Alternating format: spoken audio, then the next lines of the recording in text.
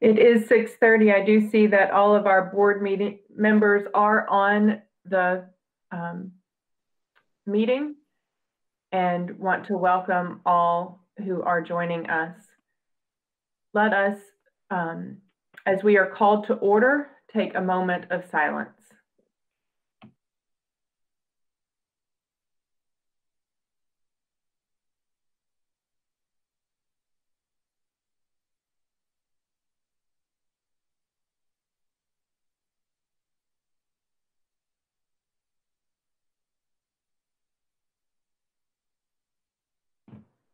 Thank you. I'm going to lead us in the Pledge of Allegiance. Please join me. I pledge allegiance to the pledge flag allegiance to the flag of the United States of the United States and to the And to the republic for republic which it which it stands, stands, one one nation, nation, under under God, God, indivisible, indivisible, with with liberty, liberty and for justice all. for all. Thank you. The next item is for approval of the agenda. Is there such a motion? I move to approve the agenda.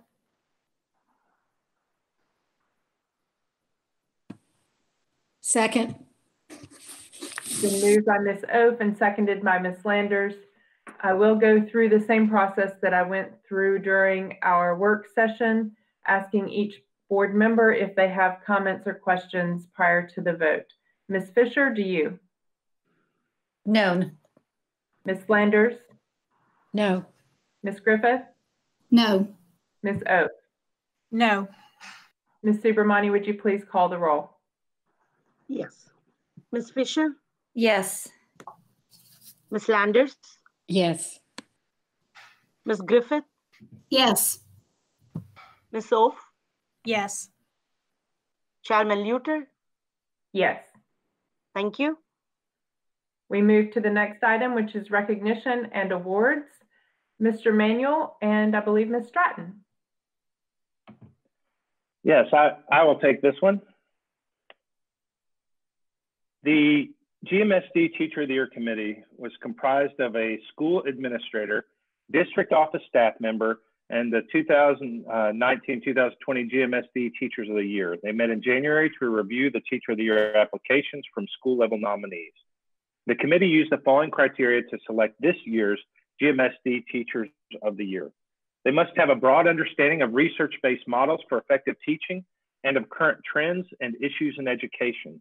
Be a facilitator of learning and skilled in implementing creative teaching strategies. Be able to show evidence of positive teacher effect over time related to student achievement through formal and informal documentation. Be able to explain, discuss, and defend a personal philosophy of teaching.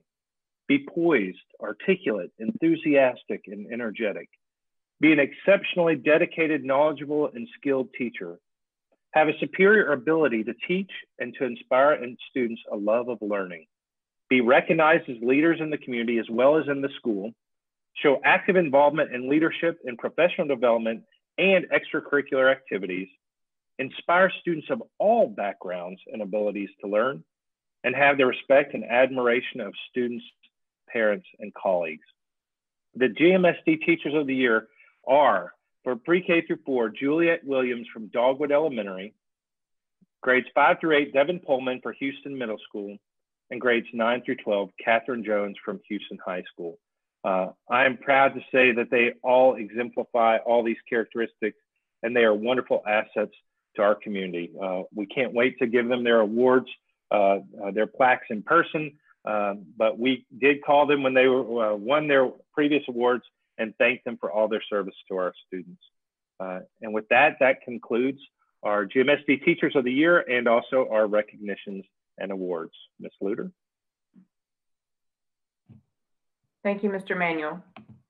Our next item are our reports, beginning with our TLN update. Ms. Griffith. Thank you, Chairman Luter. So much has occurred since our last meeting. Longtime Senate Education Committee Chairwoman Dolores Gresham has announced that she will not seek reelection. The week of March 16th, the General Assembly passed a budget and legislation necessary for state operations. They then recessed with plans to reconvene on June 1st to discuss any remaining legislation and officially conclude. Prior to recessing, the General Assembly passed House Bill 2818 and Senate Bill 2672. This bill waives the following requirements. Those requirements were also recently listed in our work session, but I will uh, go over them um, briefly. TCAP testing, including TNReady and EOC, 180 day instructional days, ACT for 11th grade, and new civics, no taking of the new civics test required for graduation. TCAP scores will not be included in the student's final grade. Student growth from TCAP not included in teacher evaluations. Pre-K and kindergarten teachers not evaluated by student growth and performance. Teachers in non-tested grades and subjects are not to be evaluated using an alternate, alternate model. As a result of TCAP being waived, the student growth and performance data is not to be used to assign a letter grade to a school or identified as a priority school. Again, these are for this school year. Additionally, appropriations bill, House Bill 2821 and Senate Bill 2466 was also passed to offer accommodations for COVID-19 support. Although debated, the recent ESA program was still accounted for in this budget, whereas there were reductions noted of other education initiatives, such as teacher salary increases. We spoke to that uh, in our January meeting, I believe. GMSD legislative agenda update with some past legislation. One of our points was to amend student discipline laws, and with House Bill 1671 and Senate Bill 1755, TCA Title 49 has been amended, which would give more discretion to director of schools to make determinations regarding alternative school placements in certain instances for suspension, excuse me, in grades 7 through 12. Also appoint development develop of formative assessment question bank. House Bill 1826 and Senate Bill 1946 requires the commissioner of the Department of Education to create a formative assessment question bank that aligns with state standards and make it available to all LEAs. The formation of this bank must begin by July 1 of this year. We are very excited about um, both of those pieces moving forward. We will continue to watch pending legislation when the General Assembly reconvenes. Many bills of interest deal with teacher pay and accountability for ESA recipients. Other bills that we will continue to monitor closely are those um, about recall elections for school board members, House Bill 2139 and Senate Bill 2546, and also the Governor's Literacy Bill, House Bill 229, excuse me, 2229, and Senate Bill 2160, which we have discussed in great length at previous meetings. Thank you very much.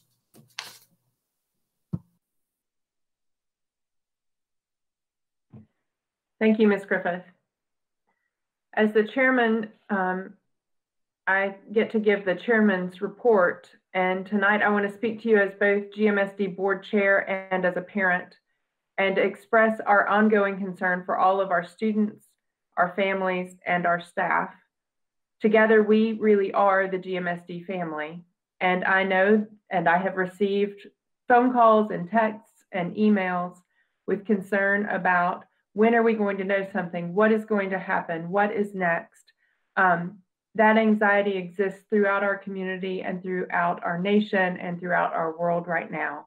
And I want to help people feel comfortable that one of the things that was very important to us was not to give you one direction and then change direction as we hear more and more or heard more and more from our state board. Tonight, you're going to hear a lot about what we are doing as GMSD and what I want you to hear most is that we care. We care about every member of our GMSD family. And this is a time that is stressful, people are anxious, and we want our decisions and actions as a school system to be as helpful as possible and reduce rather than add to stress. Our teachers are meeting with students, they're sharing learning grids, they're calling them choice boards, um, we are listening in those Google Hangouts for anxieties and emotional concerns, in addition to being concerned about our children's academics. We are offering options for learning for those children who are ready to go on and continue and for whom having opportunities to learn reduces stress without requiring it of students for whom having to continue to meet standards right now increases stress.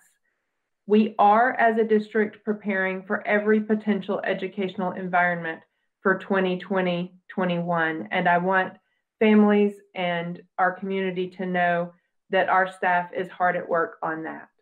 This concludes the chairman's report. I turn it over now to Mr. Manuel for the superintendent's report. We are actually going to go ahead and go with the financial reports first with Mr. Jones. Mr. Jones, if you will lead us through the financial reports. Sure, you have uh, the financial reports for the month ending March 31st, 2020. Uh, first on the balance sheet, uh, in the school operating fund, uh, if you look at the ending fund balance, that is our total reserves currently of 24.7 million.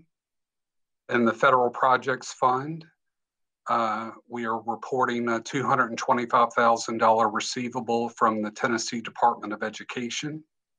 Uh, for the remaining funds, uh, total assets, liabilities, and fund equity uh, total as follows. In the cafeteria fund, 275,000. Capital projects, 5.7 million. Uh, health insurance at 2.3 million uh, the OPEB trust 2.8 million, and the general fixed asset account group at 109.5 million. And that concludes the report on the balance sheet. Uh, Ms. Crowder, the next slide. A few comments uh, for some of our fund types in the school operating fund. Uh, the target percentages for expenditures are administrative or support categories at 75%, instructional categories 67%. Uh, for total expenditures, we have spent uh, 63% of the total budget. With an expected and an unknown decrease in sales tax revenues, as a district, we have limited spending for all departments uh, based upon required needs. And that would include examples such as salaries, fringe benefits, textbooks, and maintenance and repairs uh, for the remainder of this fiscal year. In the Federal Projects Fund, we can continue spending in the Federal Projects Fund for title and IDEA programs uh, based upon information provided by the Tennessee Department of Education. Uh, the district will also be receiving 1.4 million in what is known as the CARES Act funding. Uh, it should be available to the district uh, beginning uh, sometime in May. Uh, this is additional federal funding for expenditures incurred to the district or by the district as a result of the coronavirus epidemic. And the cafeteria fund, uh, there are not any additional projected sales revenues or USDA reimbursements for the cafeteria operations uh, during the remainder of the school year. Uh, Aramark, uh, we've retained one uh, person, one administrative person on board as part of our contract. All remaining or all additional employees have been furloughed. Uh, any future administrative costs will either be absorbed by the school operating fund or be possibly reimbursed by the CARES Act funding.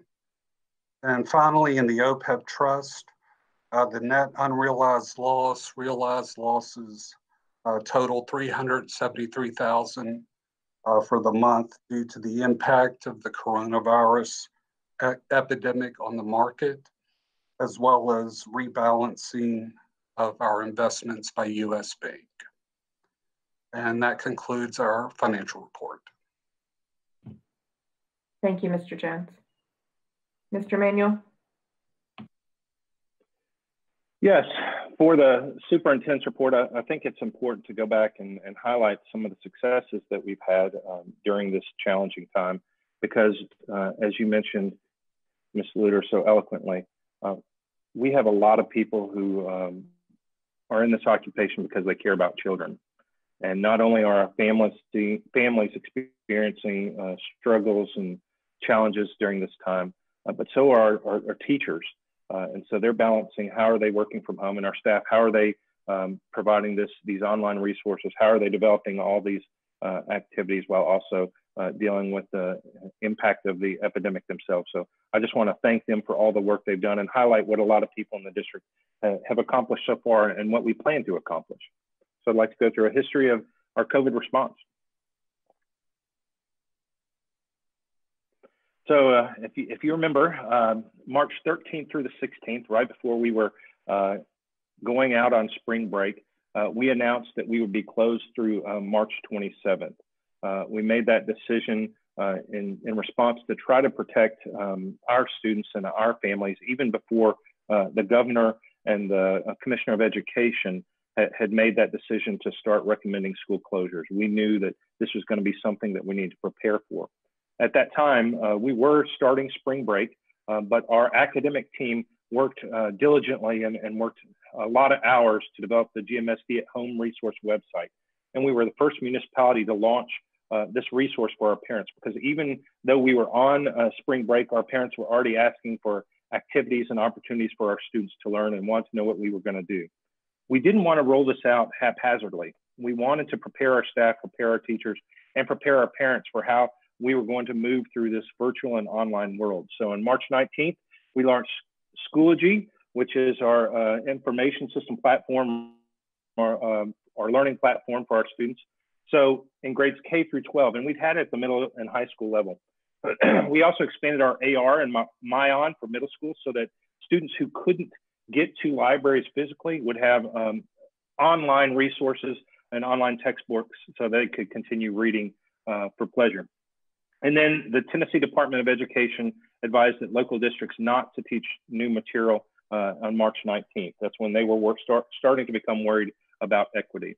March 23rd, our staff and parents returned from spring break and our, our site, GMSD at Home, was shared with families and they could start using those resources. Uh, we also started training parents on uh, Schoology, that communication system, Google Hangouts, and we also started sharing the expectations uh, for our distance learning opportunities. Staff was also working diligently to compile lists of students that didn't have access to technology and those who need to pick up essential items, items like medicines at the school. So the school level administration worked out plans for parents and families to get in and pick up those items. March 27th, learning opportunities and live sessions with teachers began across the district. Students with IEPs were con contacted and our exceptional student department uh, was working diligently to make sure that we weren't losing any students and making sure that we were serving their needs. Uh, we also started uh, deploying devices to elementary students who didn't have them at home. And for those families that didn't have um, internet access, we made sure that they had physical copies of learning packets. And so uh, we have been delivering those to families uh, without internet service. Then on April 9th, the Tennessee State School Board changed their policies, uh, prohibiting attendance for accountability purposes. Uh, all untaught standards were also compiled through the district because we know that we have to have a plan to help those students uh, finish what we have started this year. And we have a quarter three recovery plan uh, that we created. Uh, per the state school board guidance, we want to provide an opportunity for students to improve their third quarter grades since they wouldn't have a chance to improve their fourth quarter. And then in April 15th, uh, the Tennessee governor recommended the closure of all schools through the remainder of the year. And so what does this look like? Uh, and what are some exemplars and examples of this? Ms. Price is gonna help us uh, go through some of these uh, real physical examples of what it looks like. Ms. Price? So for us, it needed to be very flexible. And we knew we didn't want our students to just be online. We didn't want to add to more screen time. So um, a couple of the teachers and PLCs came up with choice boards so that we could offer all kinds of different activities from academics to art to music to just some fun things to do at home. Um, our administrators were taken through training on Schoology while the teachers were being trained so that they could begin monitoring their Schoology pages. Teachers are creating lessons, they're scheduling Google Hangouts, and um, establishing ways for students and parents to ask questions. So all, all of our schools are engaged, um, even our teachers that are in non-tested areas, such as our teachers of PE and music. You've seen some of those wonderful um, activities on Twitter and other other spaces. So here I, we have two examples of what Schoology looks like from a student perspective. On the left side of your screen, that shows what it looks like when you get into the actual materials. And so in, in those folders will be different activities for students to take part in throughout the week. Um, and everybody's done theirs a little bit differently, but most of them um, are either GMSD at home or they say COVID or something along those lines as far as the folders. Then if you go over to the right side of the page, this is where you can find the updates and this is where teachers um, will put messages out for their students. And as you can see, this one has some Google Hangouts.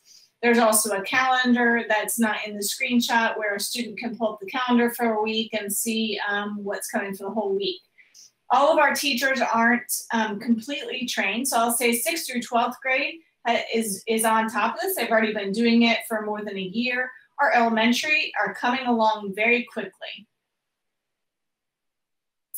So here's what an, a choice board today looks like. I want to, I do want to say that um, over time they've become more and more robust, and I think our teachers are enjoying the um, license to be creative, and they're getting the hang of it.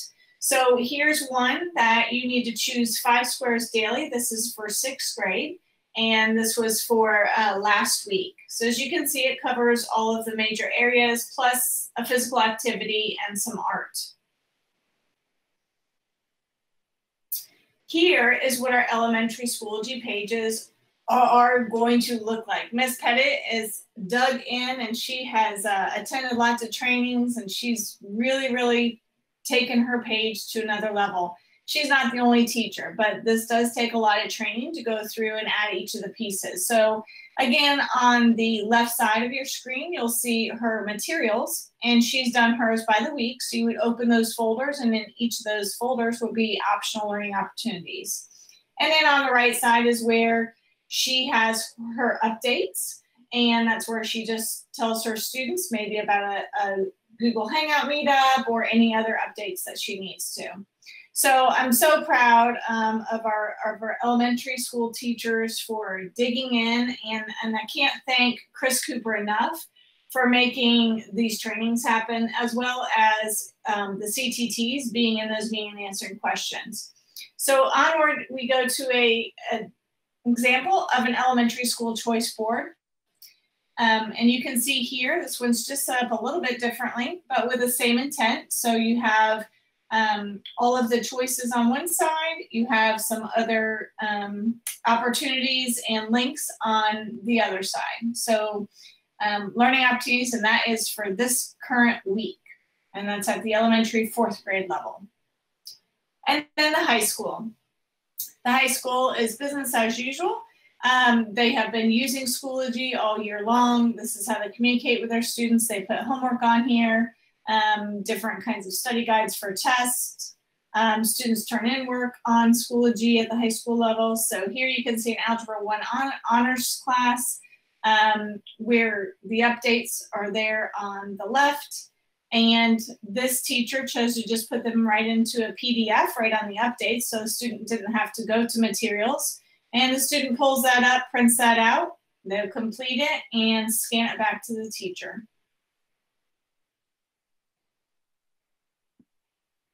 Ms. Sarah's going to talk about pre-K. Ms. Hoffman?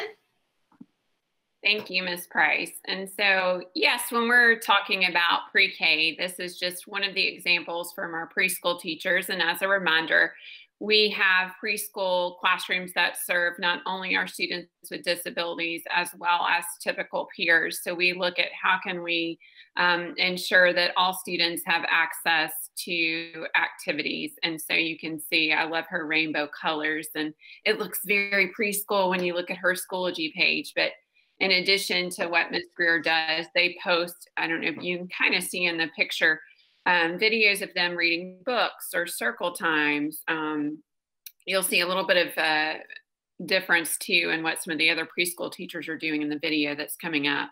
But just wanted to share that, you know, in addition to what Ms. Price was discussing, you know, our special ed teachers are differentiating those choice boards, attending hangouts with the general ed teachers, and then holding separate hangouts and providing additional resources in their Schoology um, schedule to make sure that our students with disabilities are receiving um, their accommodations and um, getting what they need during this time, whether it be academically or social emotionally.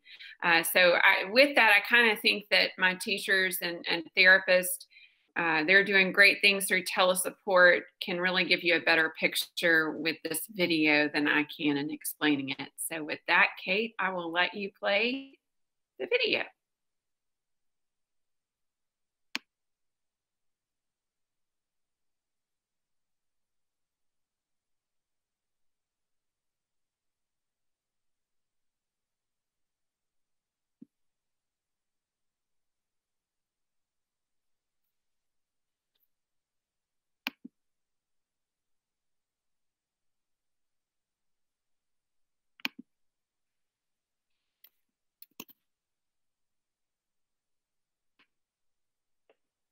Ms. Crowder, we're We unable will, hear. yes, we're going to pause uh, with the video, uh, but if Ms. Huffman, if you just want to sum up uh, the video and your team and your efforts around what we're doing for our students, and then we will move to the next thing. Ms. Huffman, go ahead.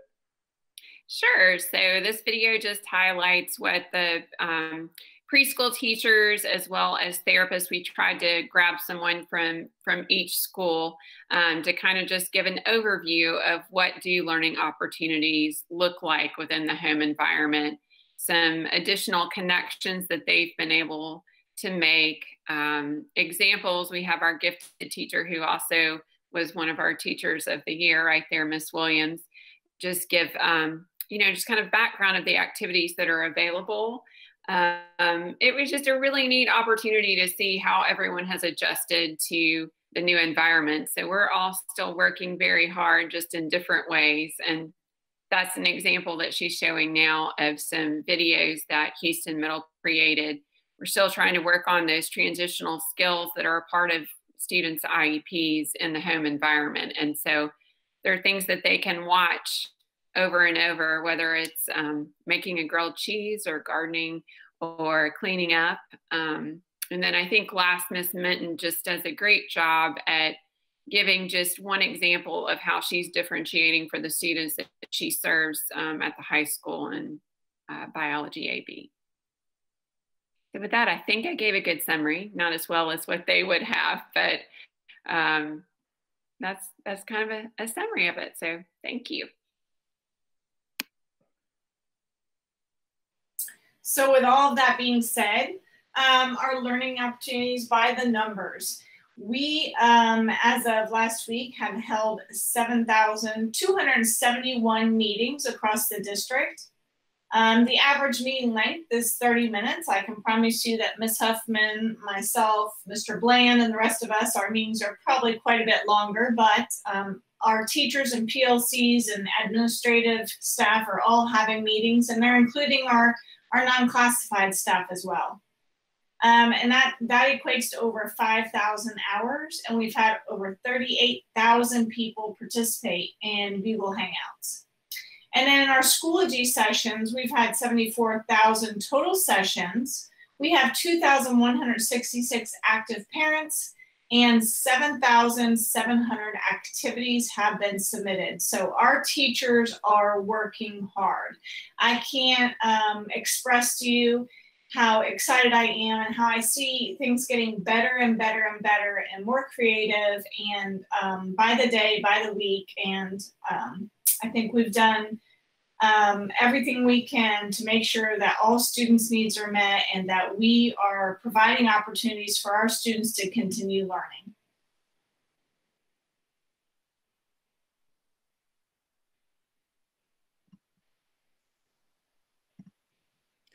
So for social emotional resources, uh, this was a effort between the district social workers and the school counselors to compile a list of resources for students and parents Uh, the resources range from how and where to go for mental health referrals to how parents can file for unemployment to where to find local food pantries for those that need it.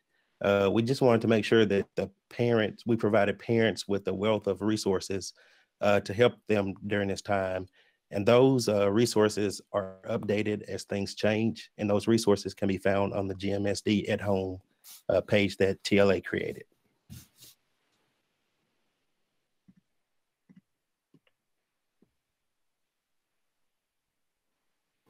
I think it's also uh, important to show how, how people have, have worked hard to serve those families that don't have uh, the same access uh, to technology that, that other families do. Uh, we've had a multi-tier approach. Uh, Officer Crump, uh, Wes Crump, Mr. Manuel works for the television studio, Mr. Bland and his son. I know that Miss Price and her assistant, Miss Rosie, they have been doing incredible things to, to prepare for whether it was the hard packets uh, for families that didn't have internet access, or delivering uh, laptops and iPads to families that didn't have enough or didn't have devices for their students to access these online activities. Um, we were trying to reach all families and students, and we were uh, a delivery service uh, over the past few weeks to really make sure that uh, no one is getting left behind uh, and everyone was taken care of during this period of time. So we want to thank everyone who really stepped up and helped deli deliver all those devices and materials and prepare them uh, for our families. What began as a conversation with one of our community partnership focus groups um, a little over a month ago has quickly evolved in the current situation um, as a weekly parent development series. So, our first virtual session covering the basics of Schoology was able to draw in over 500 parents, which is incredible. This series is going to continue and can be followed by community members at the GMSD at Home website. Uh, the leadership in GMSD are also working in tandem with parent leaders and keeping a really good open line of communication. Um, we want to support our very supportive parent teacher organizations throughout this crisis as well. GMSD is also committed to providing learning options that extend beyond the computer screen. To date, over 38 teacher lessons are currently streaming on Comcast Channel 17 and UVerse Channel 99. A full listing of these opportunities can be found at our website at www.gmsdk12.org under our Germantown Municipal Television tab. Now, these lessons range from early literacy, like the phonics lesson that you see here in the left-hand corner, or a social studies lesson with Riverdale's Mr. Frizzell, who's hosting class from his front lawn. A group of third through fifth grade teachers across schools have assembled and they are organizing a series of lessons on fractions that release each week, which I'm finding both helpful for students and for parents. Uh, meanwhile, over at Houston Middle School, Mr. Murray is quite the personality and has been hosting a historical talk show in his living room each week. Of course, Ms. Minton from Houston High School is seen here teaching in her bathtub. Um, we are proud to work with these teachers, the television staff, and myself as they showcase their best lessons in these extremely unique ways. And we really do look forward to airing all the things that they come up with next.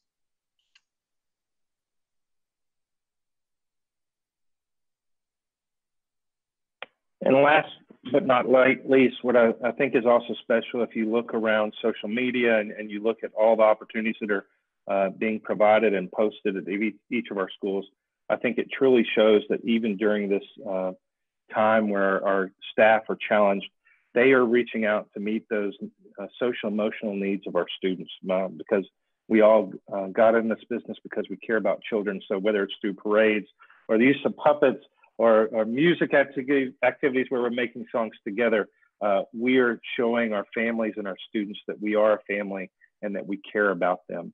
Uh, so hopefully uh, our families will see this uh, explode and uh, see lots of numerous ways where uh, our staff are really going above and beyond to show that we care about them. And with that, Ms. Luter, I will turn it back over to you. Thank you, Mr. Manuel. And Ms. Price and Ms. Huffman and Mr. Bland. I think I got everybody. We move to the next item on our agenda, which is the consent agenda. Tonight in the consent agenda is the approval of minutes for four of our meetings and the annual review revision of policies second reading.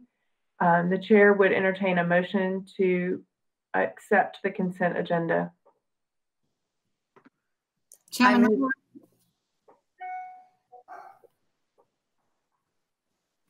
I'm I sorry. move to approve all the items in the consent agenda. I second. Been moved and seconded. Is there any discussion? Ms. Fisher, None, thank you. Ms. Landers, No, thank you. Ms. Griffith, No, thank you. Ms. Oates? No, thank you. Ms. Subramani, would you please call the roll? Yes. Ms. Landers, Yes. Ms. Griffith, Yes. Ms. Oaf, Yes. Ms. Fisher, Yes. Chairman Luter. Yes. Thank you. We move to board action items. Number eight A, approval of grant of tenure to the recommendation, to the recommended teachers. And I turn that over to Mr. Manuel to speak. Yes, I also think it may be helpful now that we are actually moving into our agenda items to um, discuss why we are having a virtual meeting and that uh, per the, the changes in the state law, we are allowed to have a virtual meeting in light of the, the COVID uh, epidemic that we are experiencing right now. So before we move on with our policies, that, that I would like to state for the record that that is why we are having this virtual meeting at this time. So with that, I will turn it over to Ms. Stratton uh, to lead us through the, the tenure process that our, our teachers have achieved. Okay. Thanks, Mr. Manuel. So just to give everybody a, a little bit of background information on what the definition of tenure is, simply put, tenure is an employment status. And all teachers in GMSD are considered either probationary or tenured. Tenure provides due process for teachers during discipline or dismissal cases. And in addition, tenured teachers have continuing employment with GMSD unless they're being dismissed for cause. So while Tennessee state law outlines the tenure eligibility requirements, the granting of tenure is a local Board of Education decision. The GMSD teachers we're recommending tonight for tenure consideration have served the required probationary status of working in a Tennessee public school for at least five years and have proven continued success as a classroom teacher by earning level of effectiveness scores of either above expectations or significantly above expectations within their last two years of teaching on a probationary status, which ended at the conclusion of the 1819 school year. These level of effectiveness scores are determined through classroom and professionalism evaluations, as well as student achievement and growth data. The Germantown Municipal School District Human Resources Department, along with the support of Superintendent Manuel and all six of our school principals, are excited to recommend to you the names of 31 teachers who are eligible for tenure within our district. We are hopeful to celebrate with these teachers and their tenure accomplishments at a later date when we're all able to be together in person. At this time, Chairman Luter, I'm happy to answer any questions you or other members of the school board may have regarding the tenure process. Thank you, Ms. Stratton. Are there any questions? Ms. Fisher, I have none at this time, thank you. Ms. Landers, None, thank you. Ms. Griffith, No questions at this time. Ms. Oaf? No questions. Thank you. Is there a motion? I I move to, I move to approve the grant of tenure to the recommended GMSD teachers after first and final reading. Second. To second that, um, that motion as well. Is there any discussion? Ms. Fisher, No, not at this time, thank you. Ms. Landers, None, thank you. Ms. Griffith, No, thank you. Ms. Oaf? I just want to extend my congratulations to these excellent teachers. I know it was hard work to get where you are right now, and we are proud of um, the hard work you've put in and the fact that you are our teachers and part of the GMSD family. Thank you, Ms. Oaf. I want to second that and say we do look forward to celebrating with you um, as soon as we are able. Ms. I can- Subramani, please I'm sorry. I just was reiterating that I cannot wait to celebrate with them. Ms. Subramani, would you please call the roll? Yes. Ms. Griffith, Yes. Ms. Ove? Yes. Ms. Fisher,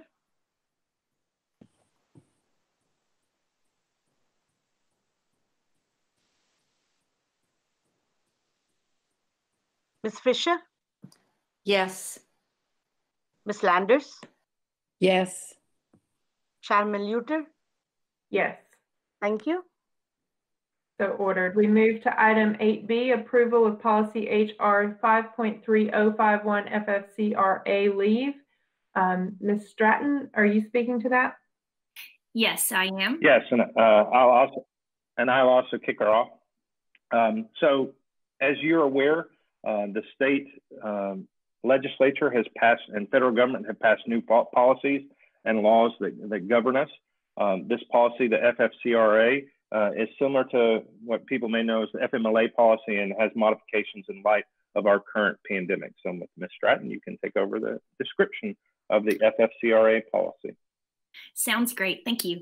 Um, so the provisions in the, the policy uh, both apply to full-time and part-time GMSD employees.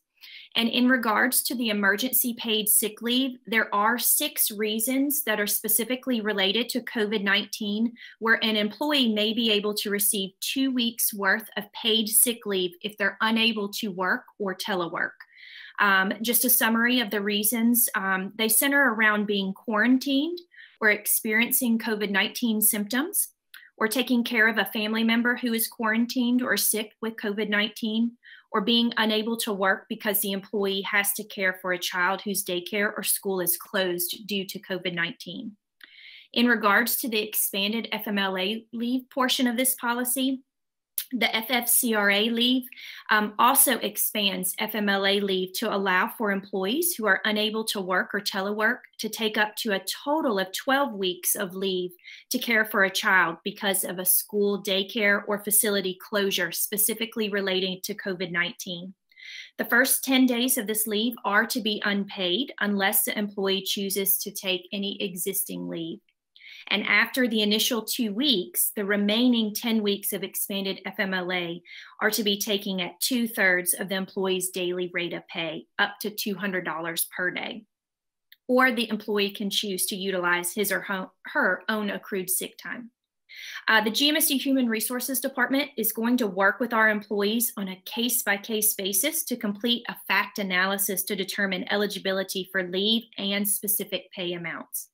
Um, it's important to note that the FFCRA leave is set to expire on December 31st, 2020, which is one of the reasons why we want to have a standalone policy rather than just amending our current FMLA policy. At this time, Chairman Luter, I'm happy to answer any questions you or other members of the school board may have regarding GMSD HR policy 5.3051 FFCRA leave.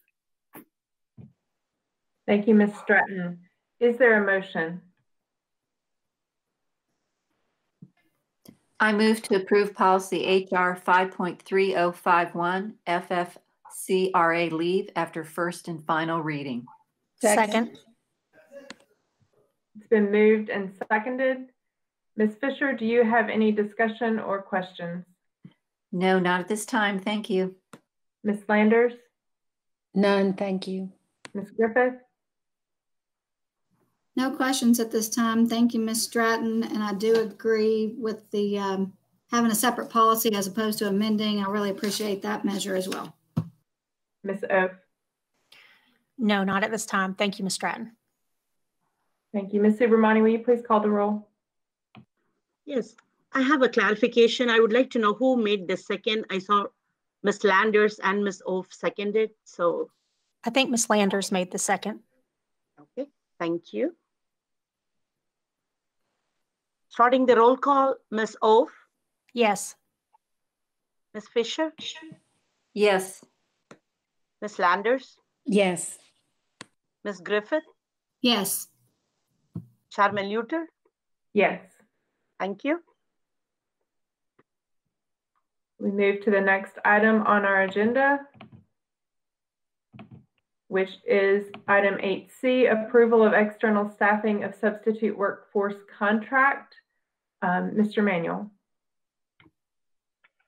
As the board is aware, uh, we have used Kelly Services to uh, outsource uh, the recruitment and also the hiring of substitutes for our district uh, since the district was formed. Uh, we are concluding uh, our first term of contract with Kelly Services and thought it would be wise to put this out to bid.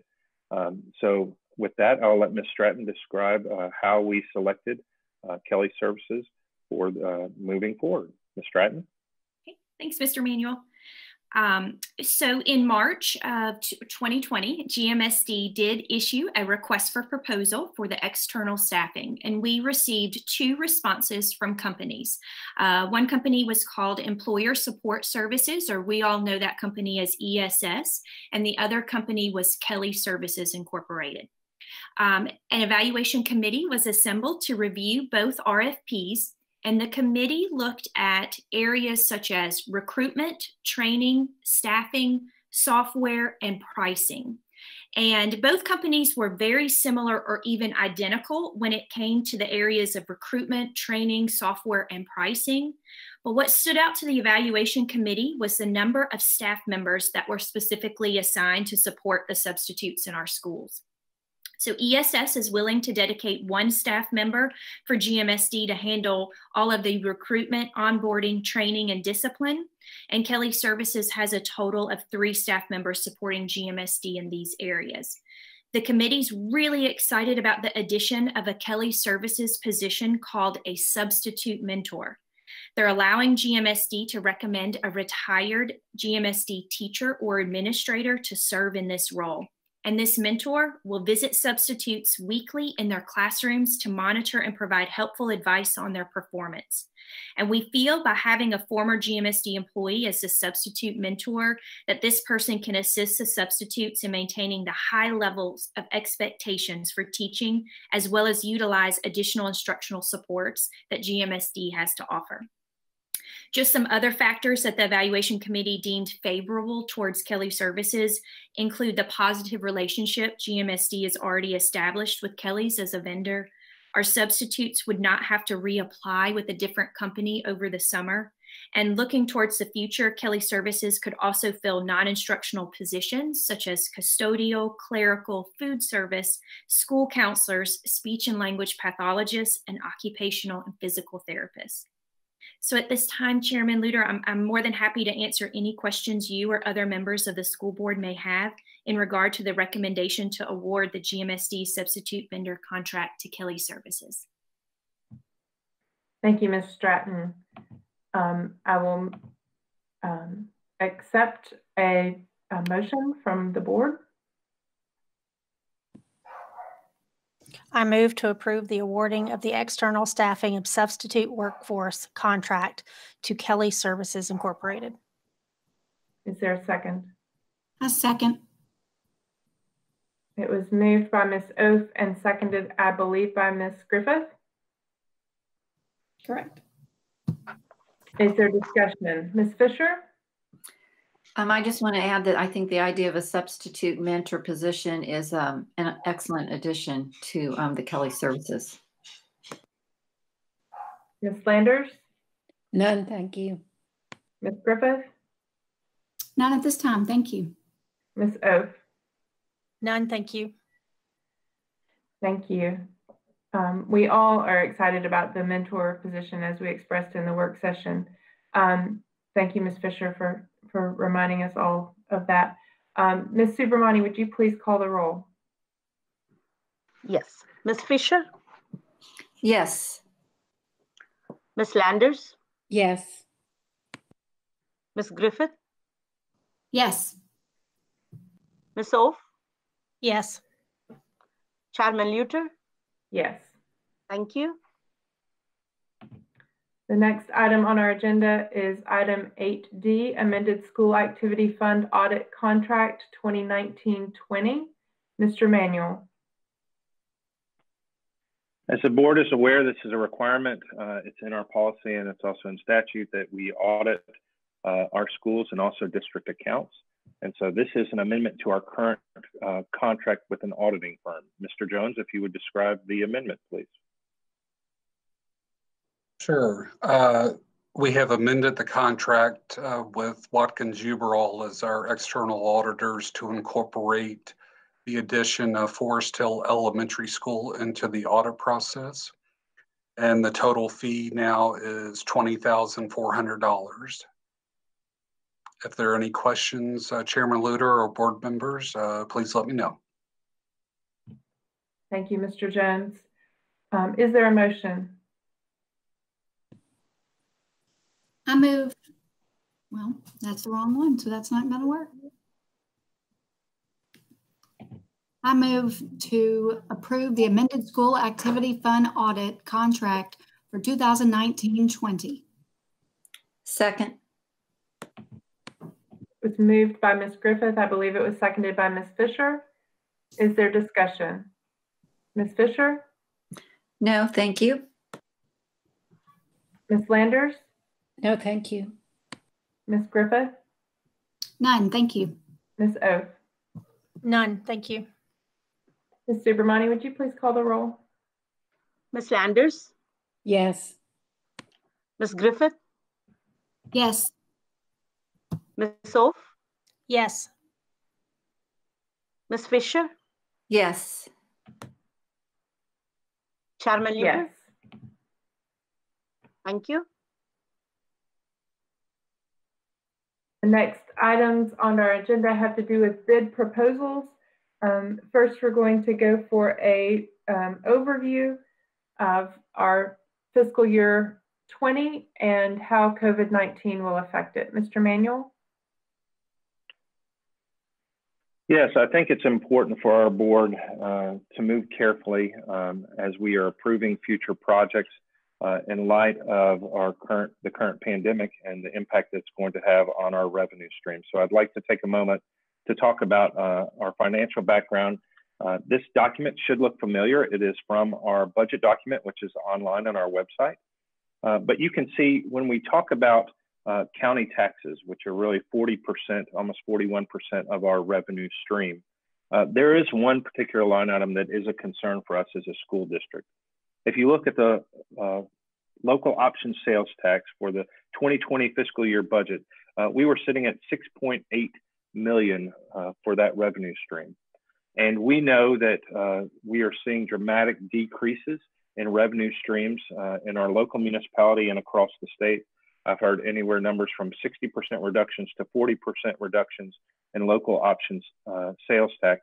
And so for us, this will be a concern um, because this is one of our uh, revenue streams and we may see a dramatic reduction uh, going forward. So as we are making decisions about our capital improvements, we need to be concerned about uh, and, and, wait and see how quickly the economy is going to recover and, and what is our sales tax revenue going to look like during the next fiscal year. We also have uh, an increased uh, expense that we need to prepare for. Uh, since the creation of the district, the German, city of Germantown has been paying an annual payment to Shelby County schools. It was a settlement agreement.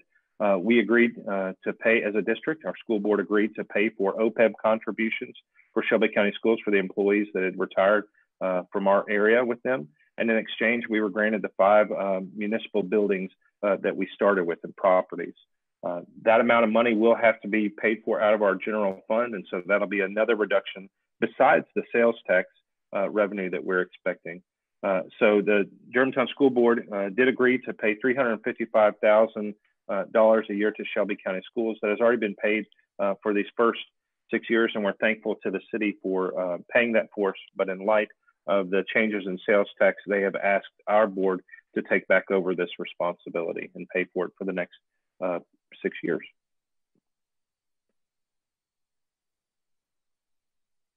So let's look at the projects that we want to discuss tonight in light of what is going to happen and, and how we are going to face some economic challenges as a district.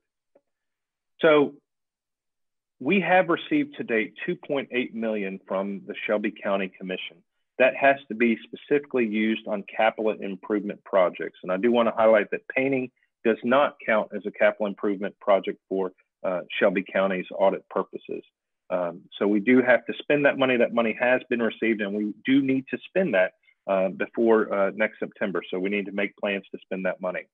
We also have some remaining money to receive from them that we are expecting to receive capital improvement money of $623,000 from the Shelby County Commission that also needs to be spent on capital improvement projects. We're also thankful to the city of Germantown because last year during their budget process, they budgeted for Dogwood Elementary School to receive a secure entrance and they agreed to pay 500,000. So they will be giving us revenue uh, for that purpose. And then we do have uh, money in our general fund of 676,000 uh, capital improvement dollars. And so it's a total of uh, four, almost 4.6 million uh, in those funds. We do have more money in the general fund. I will talk about that, that we moved specifically over for Houston Middle Schools project. Uh, I'm not including uh, that $3 million in the, in the funding here. When you look at the projects we want to approve, um, Dogwood's ADA project, we put that out to bid and the lowest and best bidder uh, came back in at 3.7 uh, million.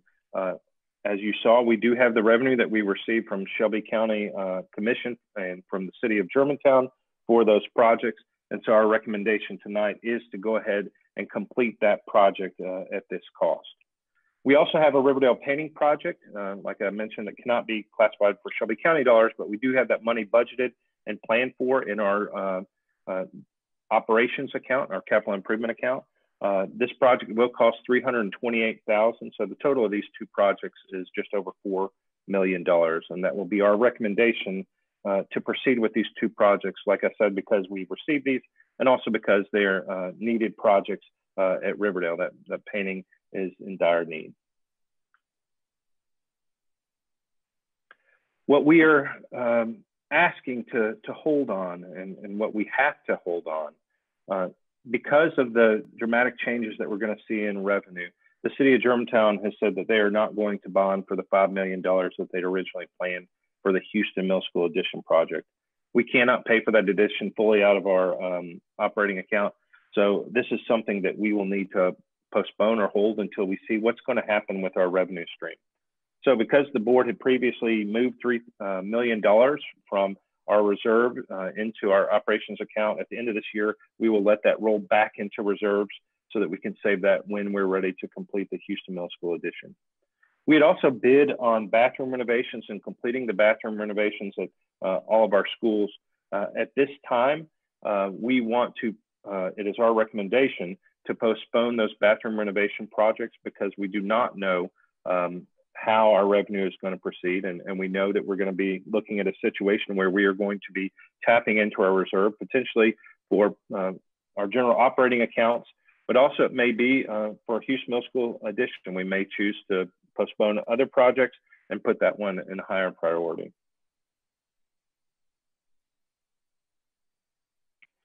So with that, we will move to the individual projects themselves, and I'll have uh, Mr. Cathy present on each item individually, and we'll discuss each item individually um, because they are separate items uh, on the agenda. So, Mr. Cathy, at this time, would you explain the bid process uh, for the Riverdale painting project? Yes, sir. For the Riverdale painting bid, uh, we broke this out into three separate sections of the bid. Uh, the base bid section is to paint building B, which is the main building, and building C, which is the kindergarten building uh, including all the interior and exterior paintable surfaces. Uh, then there was an add alternate one. Um, that's a price in addition to the base bid to elect electrostatically paint all exterior metal and plastic surfaces. It's important to note that an add alternate provides an amount above and beyond the base bid to perform the work.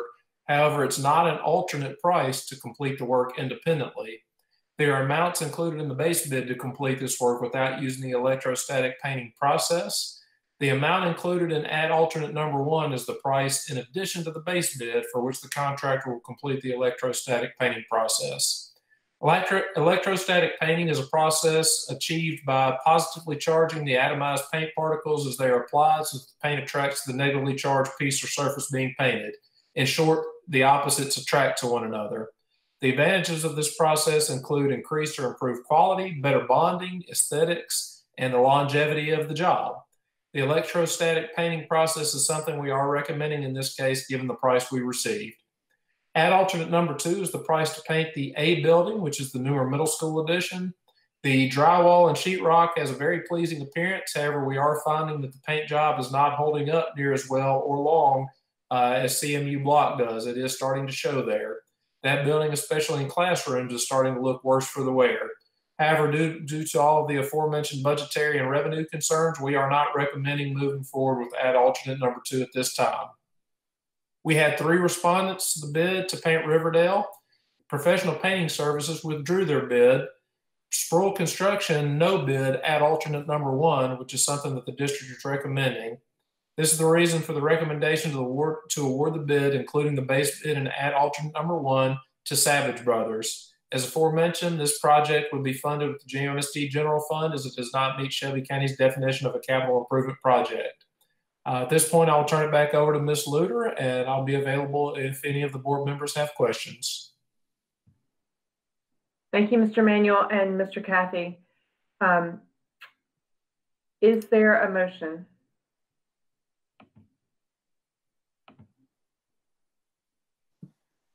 I move to approve GMSD bid number FY 2020-11 for the Riverdale Elementary School painting project, including the base bid and add alternate number one to Savage Brothers Incorporated in the amount of $328,323.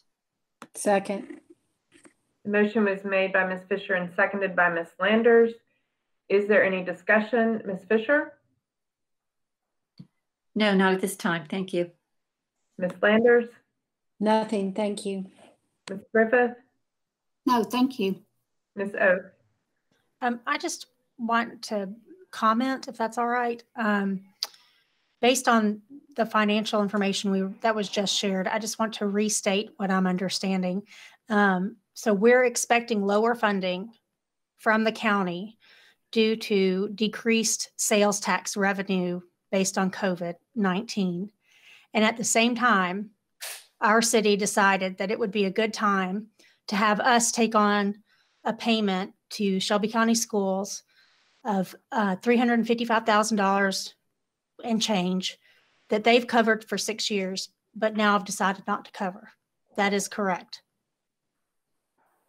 Yes. That is correct. That is correct. That is correct, Ms. Eoff. I just wanted clarification to make sure I understood that as we see decreased operational funds coming from the county, we are also basically seeing um, an inc- a decrease in operational funds from the city? Yes, Ms. Okay. Um, thank you. Ms. Subramani, would you please call the roll? Ms. Griffith? Yes. Ms. Eoff? Yes. Ms. Fisher? Yes. Ms. Landers? Yes. Chairman Luter? Yes. Thank you. Thank you. The next item on our agenda is item 8F, Dogwood Elementary School ADA project. Mr. Manuel? I'll let Mr. Cathy explain the bid uh, tabulation and recommendation for this project.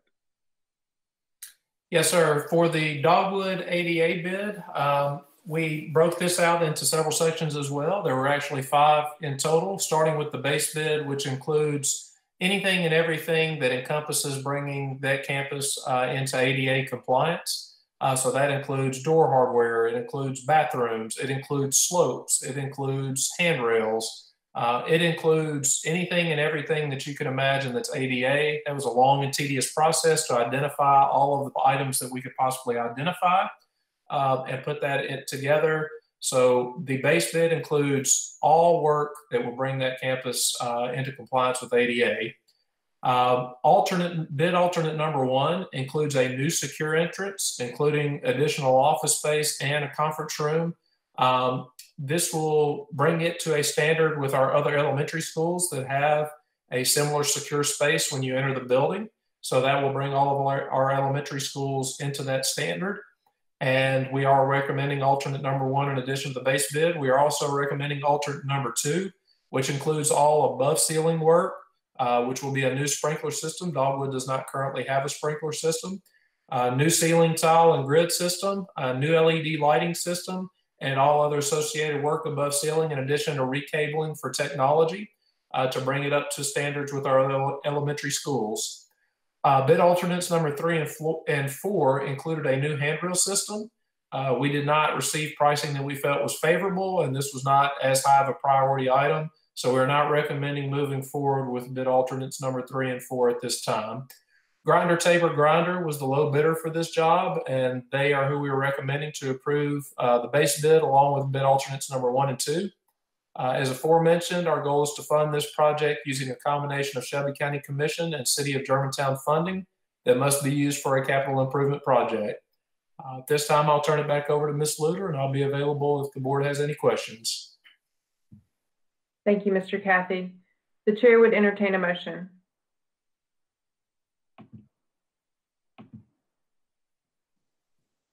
I move to approve GMSD bid number FY 2020-10 for Dogwood Elementary School ADA upgrades, including the base bid and alternates number one and number two to Grinder Taber Grinder in the amount of $3,717,232. Second. The motion was made by Ms. Griffith and seconded by Ms. Eoff. Um, we will have discussion. Ms. Fisher? Yes, I just wanted to thank um, the superintendent, Mr. Jones, for the review of our reserves as we make a decision about spending $3 million in this time. Um, I also want to say since the beginning of the district, we have been very conservative in our expenditures. And I'm thankful that we have the reserves to start off the school year in July, as well as the extra reserves that may be need, needed due to the loss of sales tax with the virus. Um, I had one quick question I forgot to ask during the work session. Um, Superintendent Manuel, I know our funding that we receive is based on student attendance. Has the Department of Ed said how they're going to handle that with us not taking attendance? Um, they have not, uh, but the only clarification they gave, they said that uh, all the funding would remain the same, uh, but they haven't gone into the specifics. So we do not uh, predict a decrease in funding uh, during this time.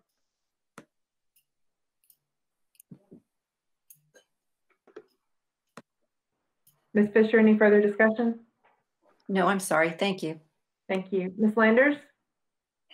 No, thank you. Ms. Griffith? No, thank you. Ms. Eoff? No, thank you. Thank you. And I do want to um, just reiterate that we are not dipping into our reserves to fund this project. These are funds that come from the county and from the city that are designated funds for capital improvement and have to be spent on capital improvement, um, the ones from the county by September. And so um, for anyone who might be confused about why we would um, move forward with these projects at this time, that is the reasoning behind it. Uh, Ms. Subramani, would you please call the roll? Ms. Eoff? Yes. Ms. Fisher? Yes. Ms. Landers? Yes. Ms. Griffith? Yes. Chairman Luter? Yes. Thank you. Thank you. We move to item 8G, GMSD fiscal year 2019-20 miscellaneous budget amendments.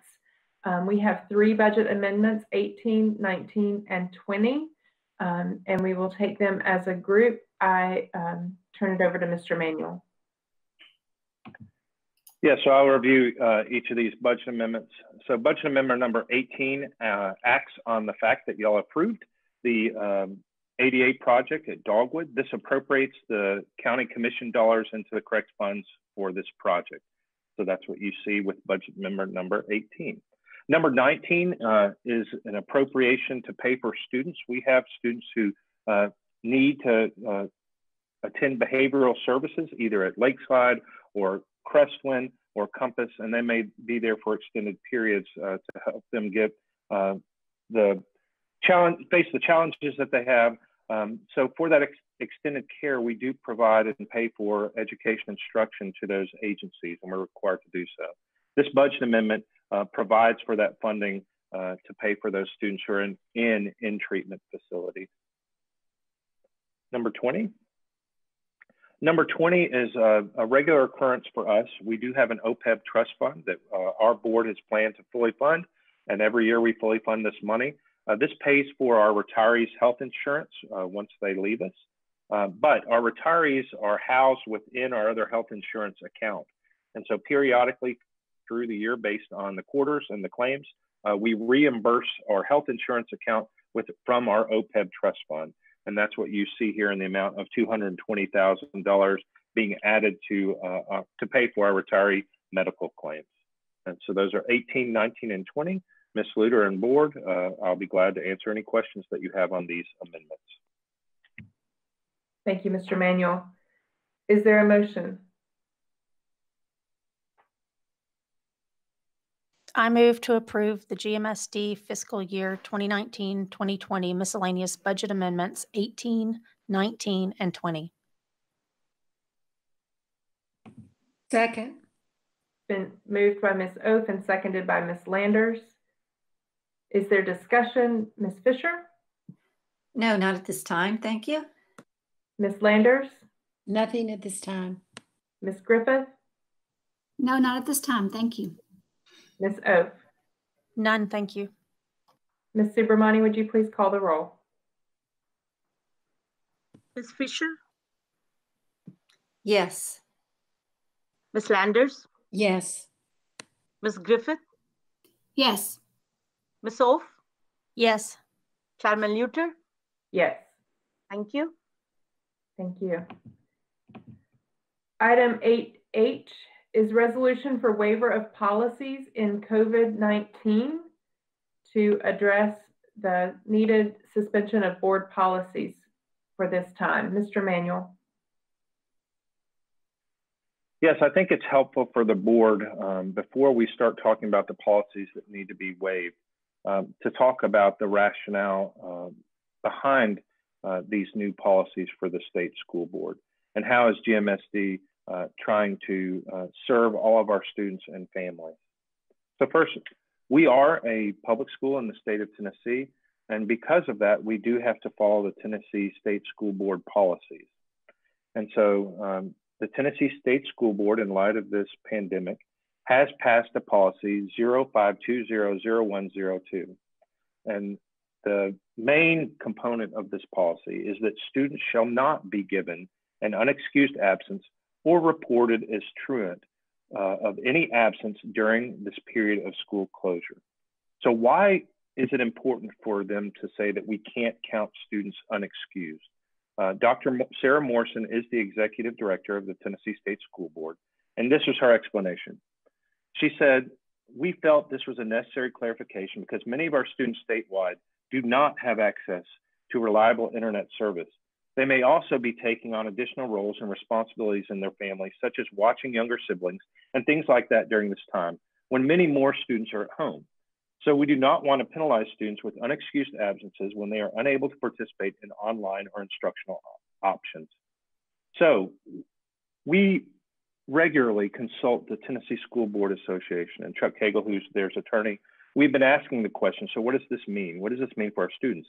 It's that we should not have quarter four grades and should not record fourth quarter grades. Because of the absence policy, if a student chooses not to participate in these activities or has a challenge that they can't participate in these activities, we cannot hold them accountable. So we cannot move forward with fourth quarter grades.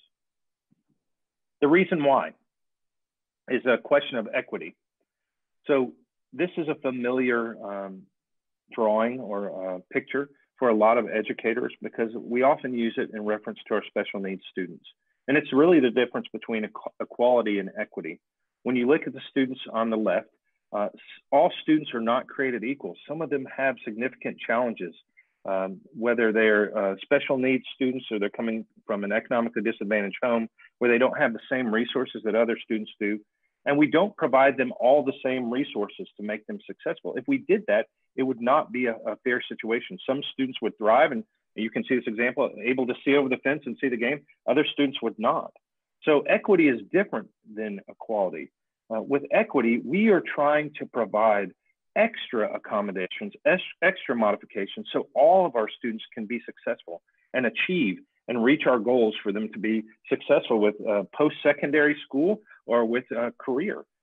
If we move forward and you see the reality picture and started moving forward with new instruction, there would be a large number of students that are, are left behind because we either couldn't provide those accommodations or they're facing new challenges. We would actually be adding more crates in this picture uh, because of the, the pandemic. So the state school board felt it important to say we are not going to um, hold these students accountable with absences because we don't know what different families are experiencing during this challenging time.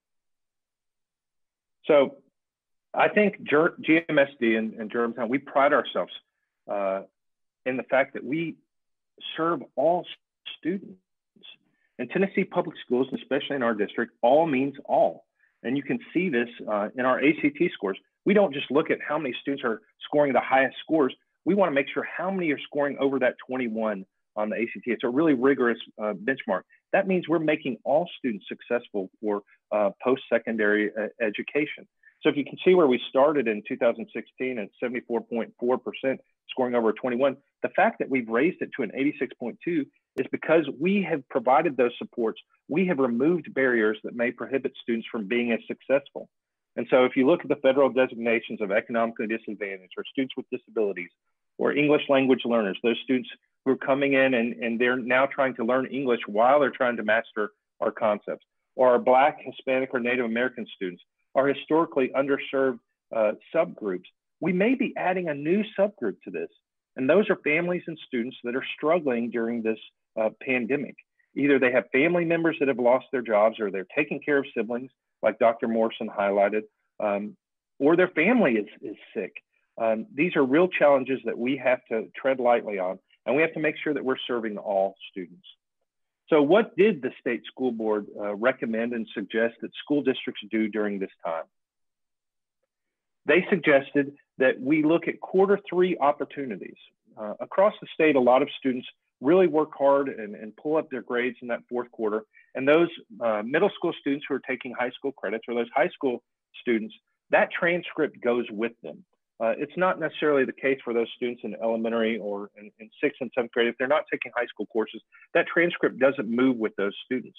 So the state school board was concerned that we needed to provide students an opportunity that if that quarter three grade was now going to count as their semester grade, and that is what is going to be included on their transcript and uh, important for the Hope Scholarship or uh, clearinghouse opportunities for athletes through the NCAA, that we needed to provide opportunities for students to improve their third quarter grade, so that can count as their semester grade.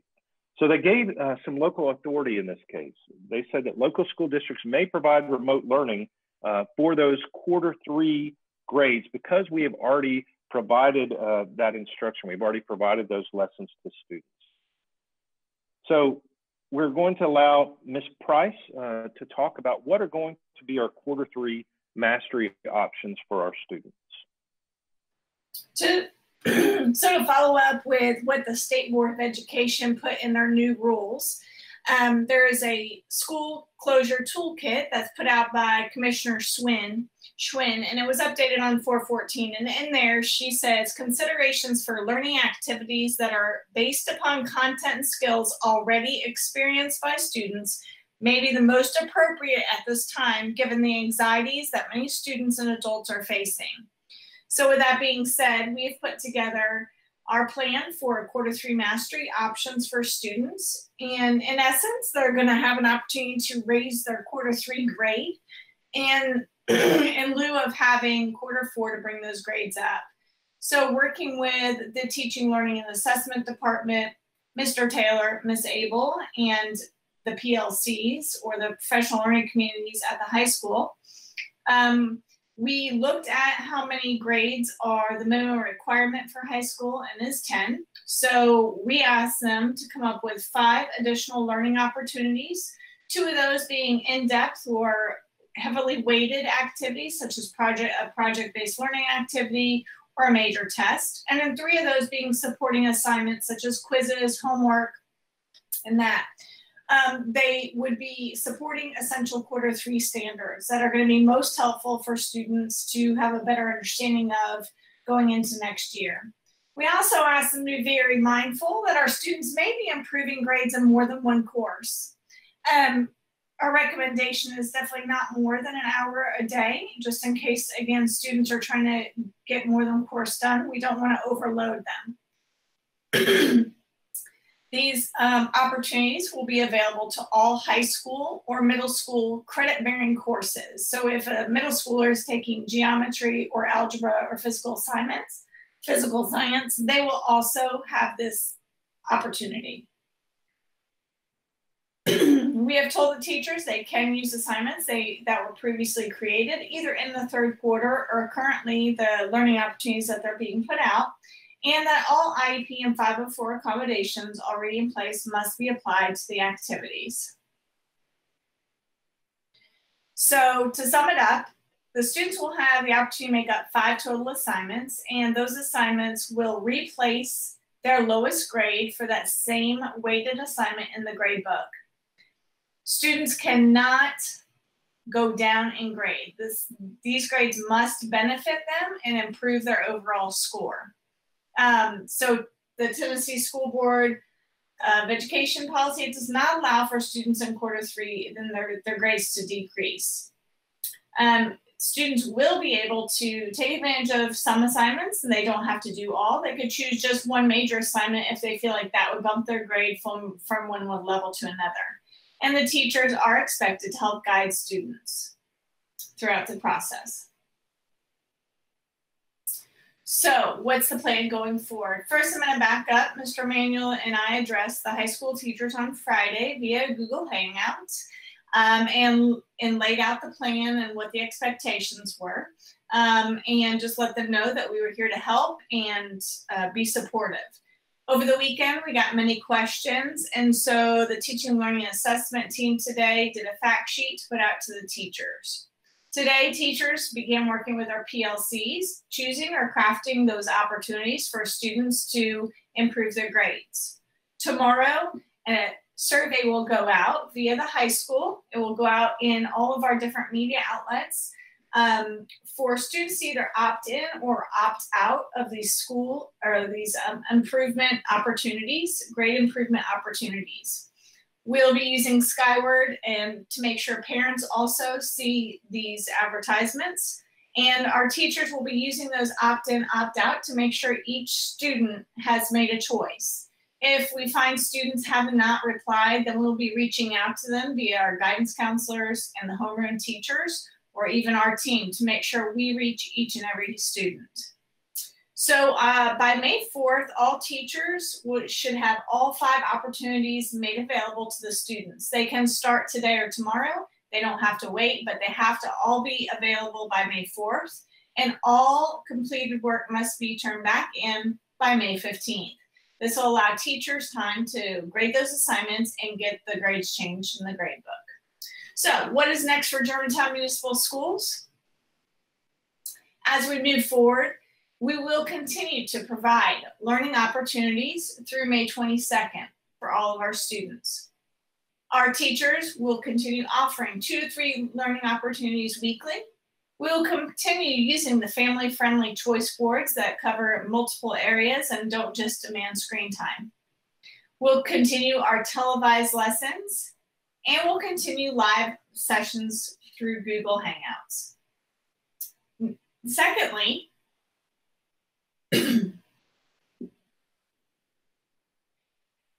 what are we going to do about those untaught standards? We have compiled a list from kindergarten all the way up through 11th grade of which standards have not been taught that we need to make sure we shore up for our students to be successful next year. And so on that, I just want to point out that our ELA standards are year long. So all year we're working on those same standards over and over and over again with different types of texts and the complexity will grow as the year goes. Um, for our K-5, the three major standards that were hit or miss were foundational literacy, and that was just one or two, reading literacy, and then reading informational text. And with that being said, that's out of a total of 40 standards. So we're in a really good place. Math, mostly what was missed was geometry and measurement and data. And those are not major work of the grade for math. In Algebra 1, we only had two of the standards from the major work of the grade, and really they were supporting standards of the major work of the grade. So we, I feel very confident that our teachers will be able to find a way in order to make sure our students are ready for next year. Here's, here's, how, they, here's how the percentages turn out.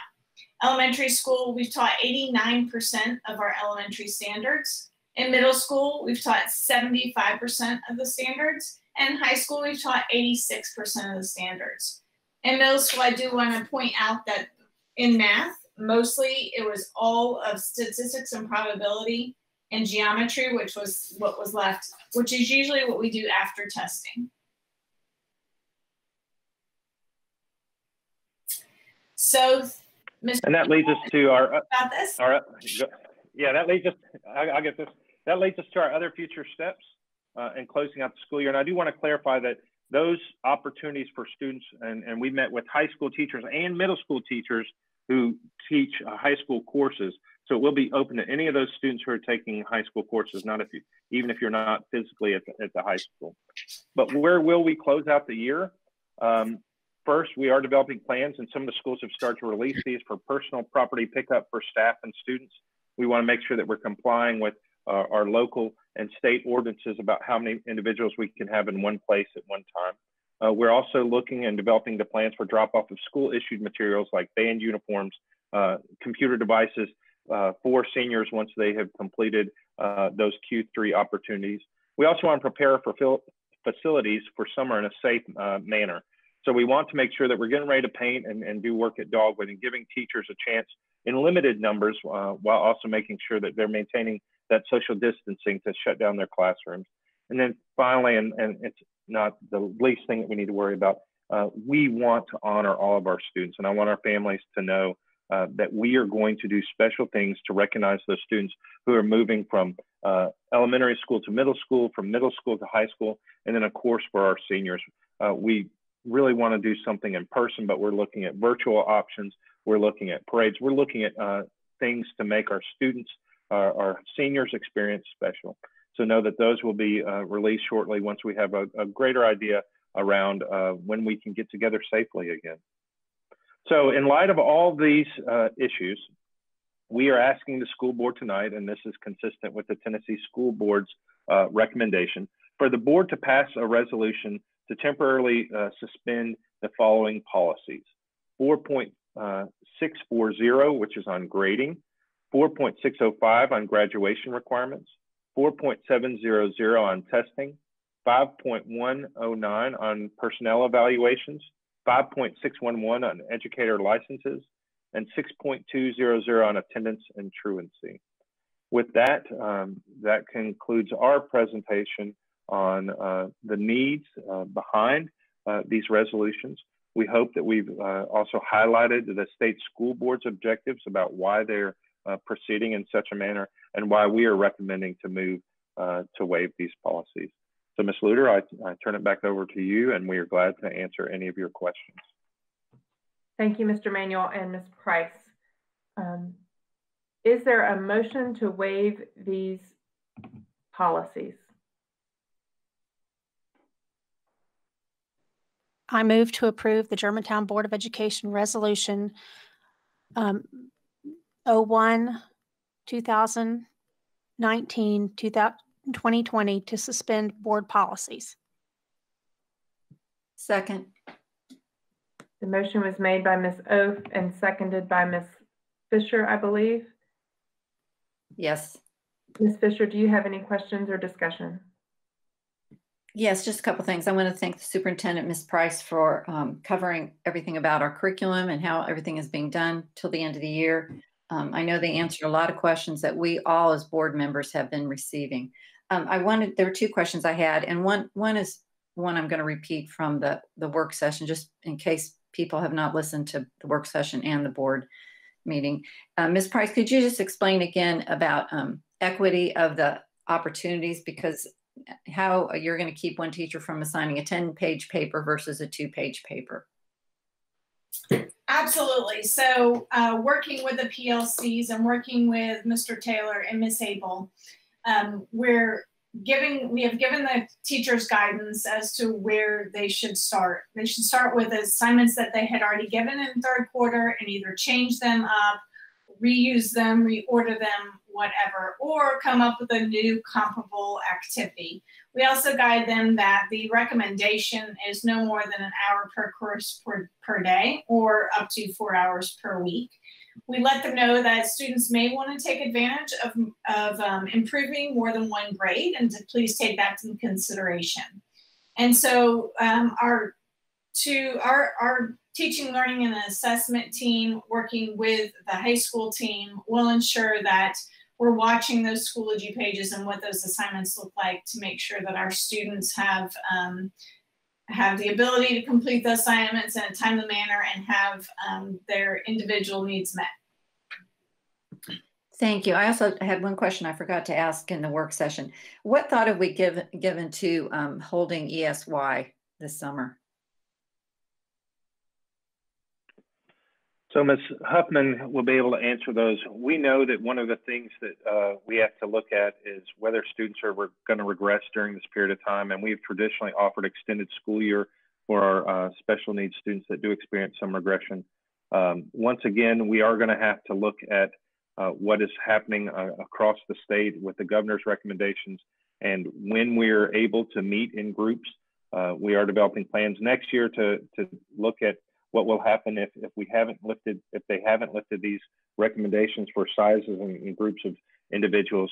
So um, with that, Ms. Huffman, if you want to jump in and uh, mention anything about ESY, I'll turn it over to you. Sure. I feel like that typical person. I couldn't find my mute key.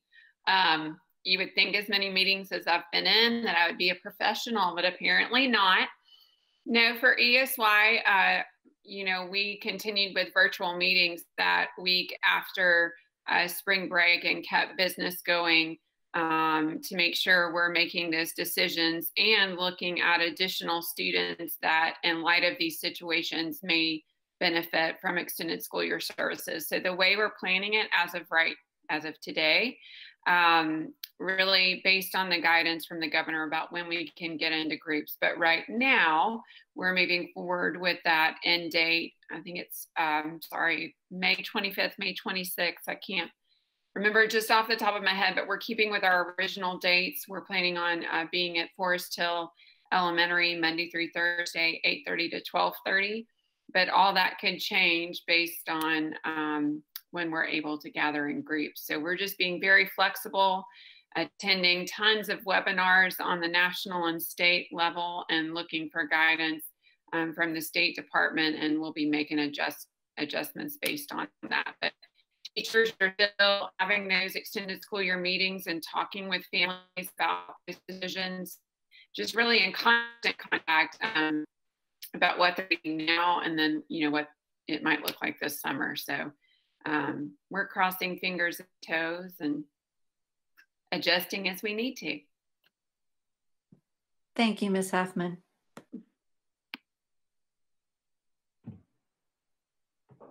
Ms. Fisher, thank you for your questions. Ms. Landers, do you have any discussion or questions?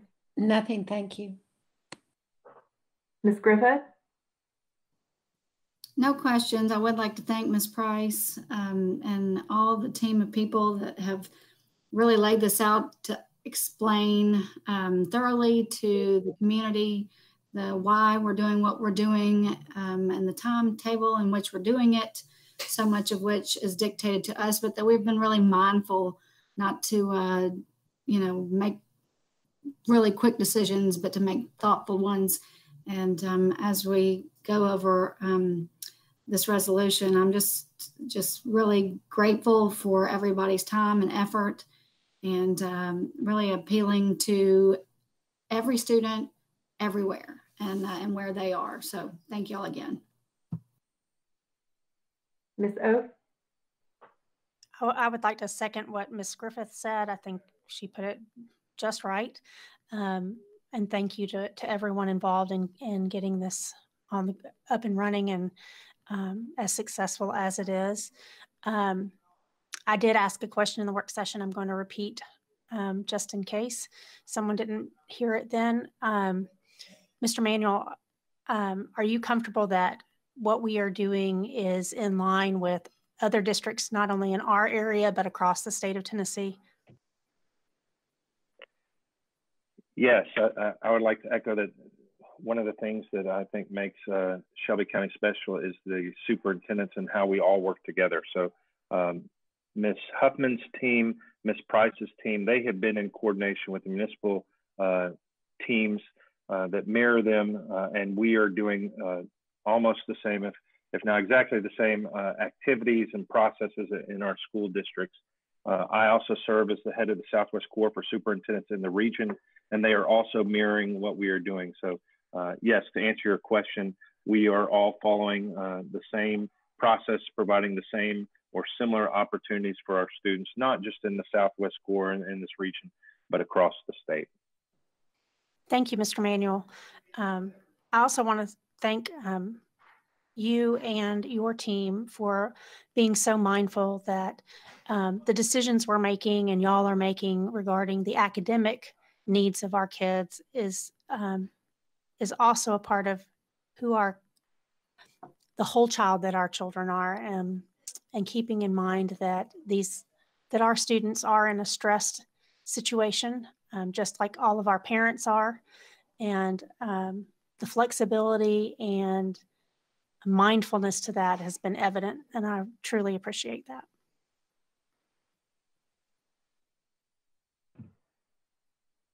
Thank you. There being no further discussion ms subramani will you please call the roll? Ms landers Yes. Ms. Griffith?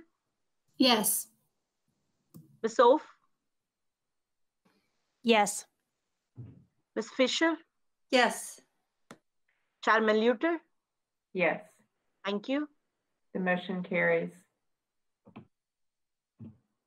This concludes the business this meeting was called. I have two items for announcements. The first is that the next GMSD school board meeting is May 18th, 30 p.m. And the second is that if you have not already, um, GMSD has a website. It is called gmsdk12.org. And there at the top, you will see in black and white GMSD distance learning and pandemic updates. Click here for information and resources. When you click there, you will be taken to GMSD at home educational opportunities. And I encourage everyone to go there and to explore your age child's resources um, and, and really dig into what's available for your children academically, but also from counselors. Um, and to consider your own child and your own child's needs individually every child you have. If you have three children, don't treat them the same. Um, each of us are experiencing this time in a unique way. And for some, schedules are very comforting and important, and for others, they are not right now. Um, for some, academics are very comforting and important, and for others, they are not right now. And so please take the time to sit down with your family and with your children individually to talk with them and also to individualize what they need and reach out to us as well um, if we can be helpful in individualizing that. Um, but again, there are amazing educational opportunities there at GMSD at home, and we are utilizing them in my household and are very appreciative and thankful for them. And I want to thank Mr. Manuel and Ms. Price and Ms. Huffman and all of your teams for all that you are doing in this time. With that, we stand adjourned.